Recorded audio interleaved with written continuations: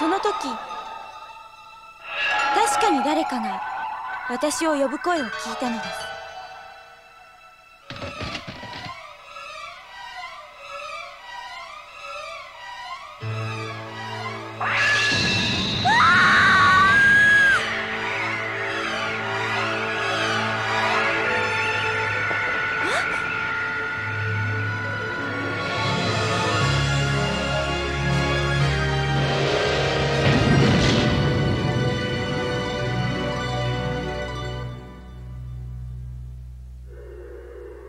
私は優子。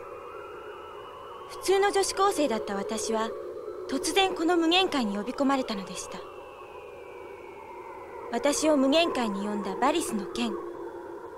その剣を頼りに私は何も知らない世界をさまよう。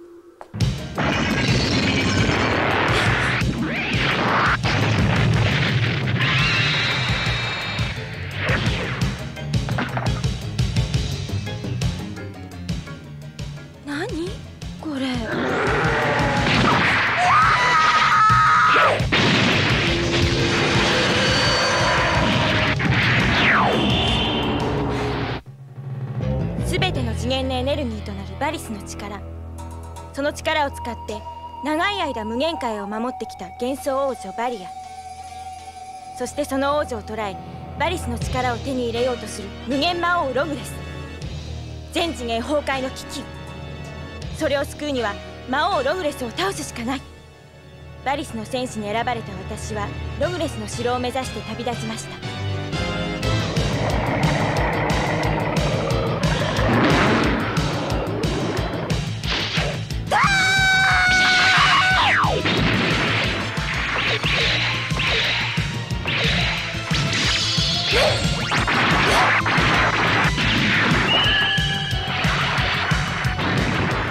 を阻むログレスの魔物たち。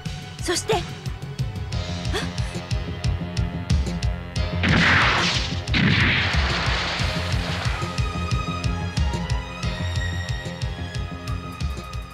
ここで終わりよ優子玲子どうしてここに？あなたと同じよもっとも私の方が少し早かったみたいね。じゃあ玲子も？ええ。でも今は違うわ。なぜクラスメイトじゃないログレスは私の全て。私を倒さなければログレスは倒せない。